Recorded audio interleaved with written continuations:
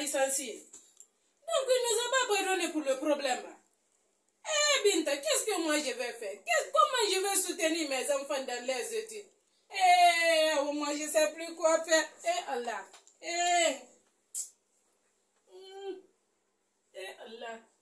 Comment je vais faire pour soutenir mes enfants Eh.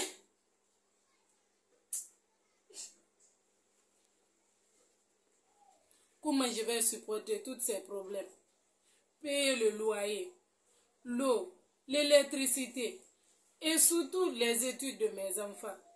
Eh mon Dieu Maman, pourquoi tu pleures? Maman, explique-moi pourquoi tu pleures. Eh ma fille, je ne sais pas ce que je vais faire. On nous a licenciés dans notre travail. Comment je vais faire pour vous soutenir dans vos besoins? Pour, Dans vos écoles Comment je vais faire? Le loyer Maman, du courage. Quand je serai grande, je vais me faire sortir dans cette misère.